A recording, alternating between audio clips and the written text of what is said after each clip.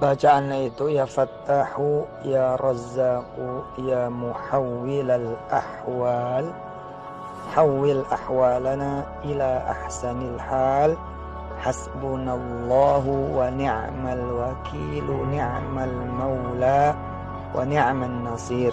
La haula wa la quwwata illa billahil aliyyil azim. Ini amalan dari ibu saya langsung dengan izin Allah yang beliau tuliskan buat saya dan tajam banget. Tajam banget tajam banget tajam betul. Insya Allah bisa dengan izin Allah mengubah dan memperbaiki hidup dan kehidupan kita. Bacanya kapan? Sebenarnya bebas tapi habis sholat deh. Ya ganjil-ganjil gitu loh. Tiga kali tujuh kali sebelas kali gitu. 21 kali 33 kali 99 kali gitu. Ganjil-ganjil deh.